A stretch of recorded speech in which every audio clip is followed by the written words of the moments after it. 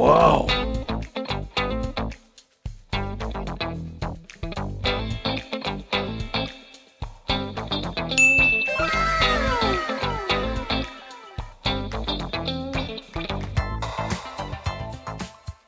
พอถึงร้านเนี่ยพี่ผู้หญิงเขาก็จะพาออกจากพี่ผู้ชายเลยเขาน่าจจะพูดคุยกันมาแล้วแหละว่าช่วยรบกวนมาส่งตรงนี้หน่อย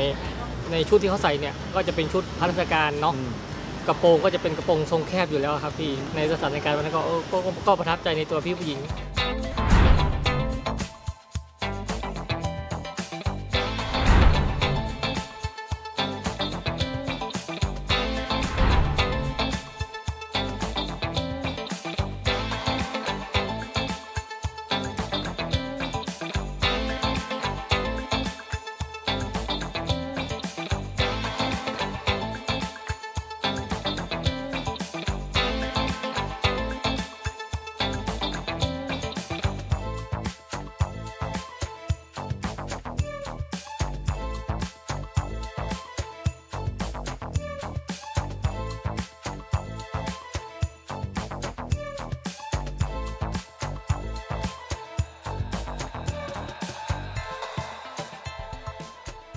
ประมาณ5โมงเย็นเนาะผมก็เลิกงานขับไปหน้าเส้นหน้าโรงพยาบาลแถวหมู่บ้านพีโอนครอะไรประมาณเนี้ยครับพี่ก็จะเห็นพี่ผู้หญิงเนี่ย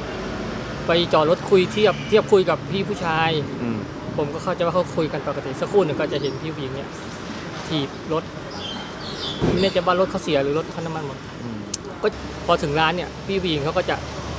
พาออกจากพี่ผู้ชายเลยอืม ผมไม่แน่ใจว่าเขาเขาเขาน่าจะพูดคุยกันมาแล้วแหละว่าช่วยรบกวนมาส่งตรงนี้หน่อย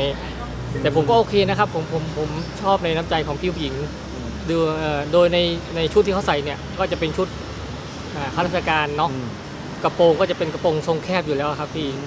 ในสถานการณ์วันนั้นก็เออก็ก็ก็ประทับใจในตัวพี่ผู้หญิงเอิญวันนั้นอ่าขับตามไม่ทันรถรถมันเยอะนิดนึง ก็เลยตามพี่ผู้หญิงไม่ทันก็ว่าจะไปสอบถามรายละเอียดข้อมูลเบื้องต้นอยู่